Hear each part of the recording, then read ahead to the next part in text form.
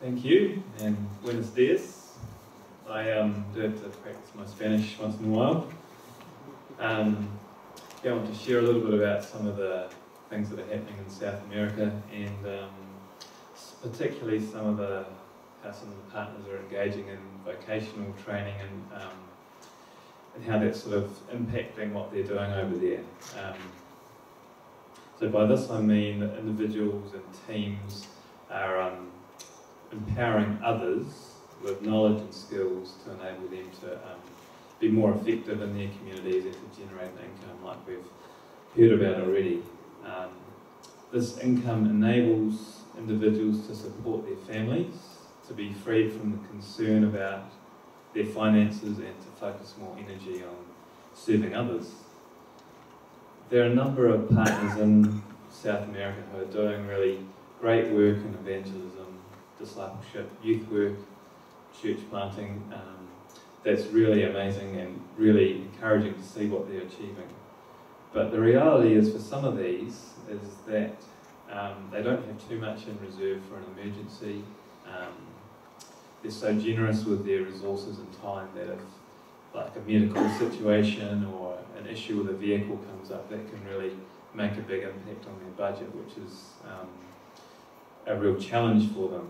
So sometimes Bright Hope can step in and help them through this time, but we really want to see um, the move more into a, um, a bivocational model, which is something Jerry's going to talk about a bit later, and we've heard a little bit about the concept. It's basically the idea of having an income of some sort or a project that can generate income as well as their so-called spiritual work. And, and I think that, um, like we've heard as well today, that income generating work is worship as well. It is the spiritual work as well as the church planting, the discipleship. It all has a spiritual component to it. Um, so when there's a situation like um, like this where a partner has an income, it means they've got some resources, both time and money, in reserve to help others um, to impact their communities more effectively. Um, so we desire to see our partners really thriving, um, which is something that Fraser mentioned last night, um, in all areas of their life, reflecting Christ's love and fullness of life, that not that they're just scraping by in what they do. And it's a model, I sort of went a step further and found a verse to support it. Um, in 1 Thessalonians chapter 4, um, where Paul encourages believers to work with their hands, and he says, so that your daily life may win the respect of outsiders, and so you will not be dependent on anybody. Um, and earlier in chapter 2 of 1 Thessalonians, Paul described how he worked not to be a, a burden on anyone. So that's all just a bit of background in terms of, of the vision of what we want to see in South America particularly, but I think in all of Bright Hope's work. Um, so I want to share um, a couple of stories now. Um, a number of years ago in Bolivia, a dairy farm was set up in, um, on a block of land, a small town called Camiri and Bright Hope's been involved in this area for um, for decades really, and sort of that period of time we were talking about where Bright Hope gets engaged is that development. Um, Fraser mentioned that last night, so it's it's decades now. I think it's over 20 years. So you can see the milking shed here. Um, there's a number of cows that they milk um, every day, and this is mostly run by a, um, a really gifted young man called Jaime. And here he is uh, examining his crop. Um, John could probably give you more insight on that than I can. Jaime actually spent a year in New Zealand though um, on a farm in the North Island studying some farming techniques, um, which he's gone back and, and applied to what he's doing. So um, almost as good as South Island farming techniques.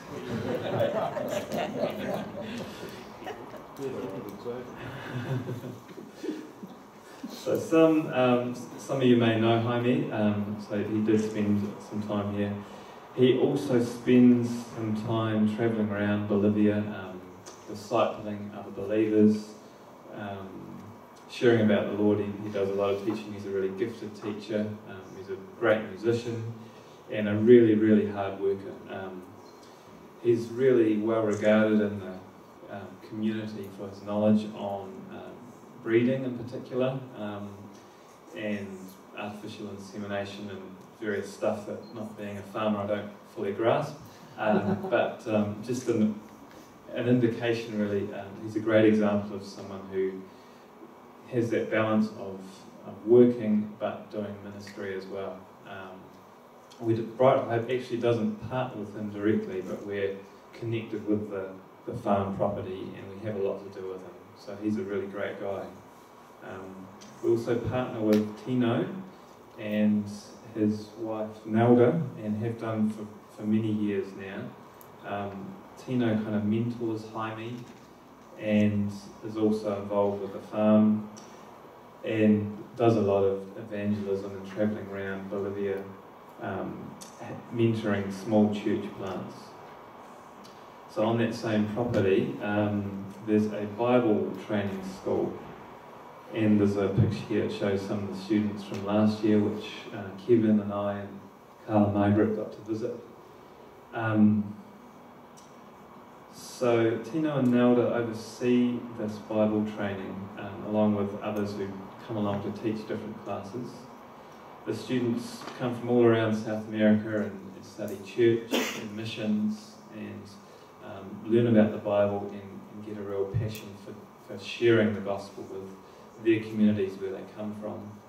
Um, I've met a number of the students and they're really passionate young people and a lot of them have gone out to, to do great things in their communities. Um, but as well as that Bible training, they get some um, practical experience. They have work duties on the farm, um, and this hopefully enables them to understand the idea or the concept of bivocational work, which is ministry going hand in hand with some sort of practical work. Um, I want to just talk a bit more about a young couple who both completed the Bible training uh, course in community. This is Eli and Raquel. Um, and they were recommended to us by Tino as really passionate followers of Jesus.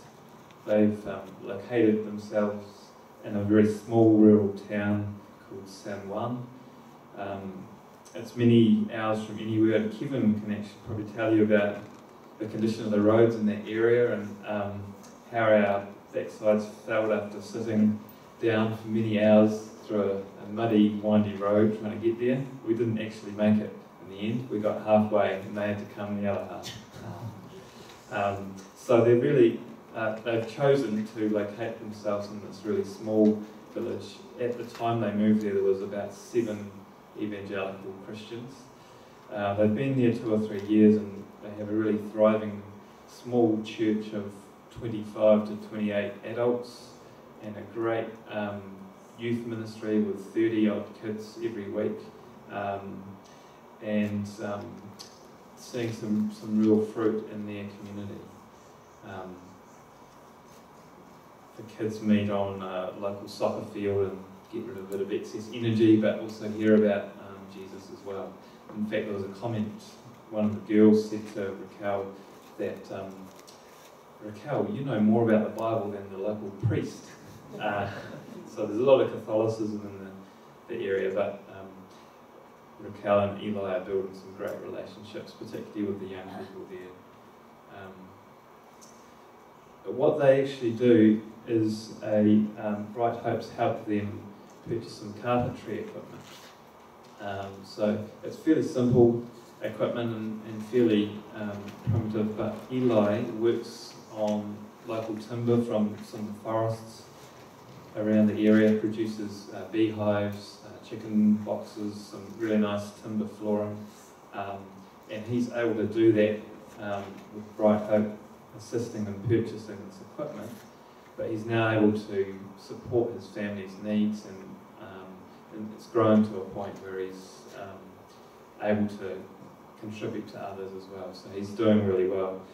This is a great example, in my view, of a couple doing that bivocational ministry with an income from the carpentry shop, um, but also making a real impact on their community uh, for Jesus. Um, another offshoot of the property and community is a technical school, um, which Bright Hope has helped with the, some of the tools that you see there. This is uh, Pepe and Ephraim. Uh, Pepe is actually Tino's son, and he's a trained auto mechanic, and he specialises in um, fuel injection, ABS braking, um, auto electrics, and he's recognised a need in Bolivia for um, skilled people who can work on this technology on vehicles. So they've come up with this idea to provide training for, for young guys who have um, kind of a mechanical mindset to give them a, a skill set so they can get work and, and support themselves and their families. So the students that um, go through the Bible school have the option of, of doing this technical school as well. So again, it's hand in hand with um, a practical skill which can provide them with an income and um, and the spiritual element to what they're doing. So last year, 12 students completed the course. Um, two or three of those were from, had, had done the Bible school previously. Um, the school's also recently got a government accreditation, so it's a, a recognised qualification that the students get. Um, so we're really looking forward to seeing this program grow and um, help others provide a, um, or gain a skill that can provide them with an income and them to help others. Um, so in summary, we really believe that vocational training is an important strategy and um, to see Christians uh, reach the lost and do that in a sustainable